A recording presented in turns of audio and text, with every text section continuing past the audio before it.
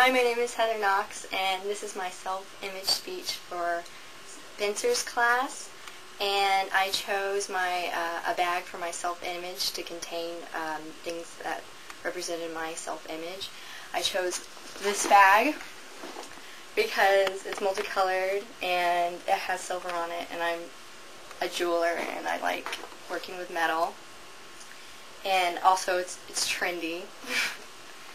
and one of my objects is a Russian nesting doll because um, this is important to me for my self-image because I um, I got it as charity by the highest bid, but I felt really good after doing that. So, and also I just like being cultured in different things, and also it symbolizes um, art. So.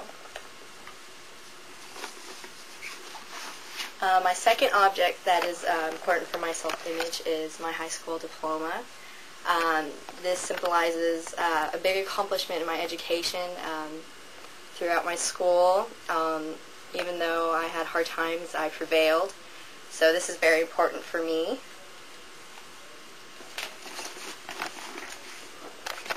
And this is um, my third image that is important for my self-image because it is my first piece on the pottery wheel and um, something I never thought I could accomplish, but I did accomplish through the Dallas Community Colleges.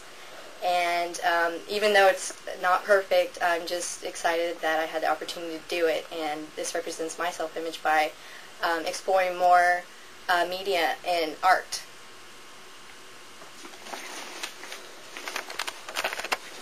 My fourth image is a medal that I got in high school from the Visual Scholastic Art event. Um, I got it for participating, but I um, felt very accomplished in participating and um, getting an award for it at that and putting it into my time. And um, it's important for my self-image just because it makes me feel good about um, myself and my artwork. And my last important object is one of my first pieces that I made in, as jewelry in high school.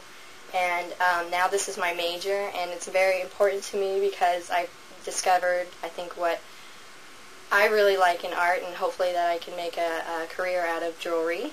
So this is very important for my self-image. In conclusion, these five items are important to me because they represent my self-image by the goals I've met and where my ambitions have led me. These are not only objects I love, but are a product of my accomplishments and aspirations.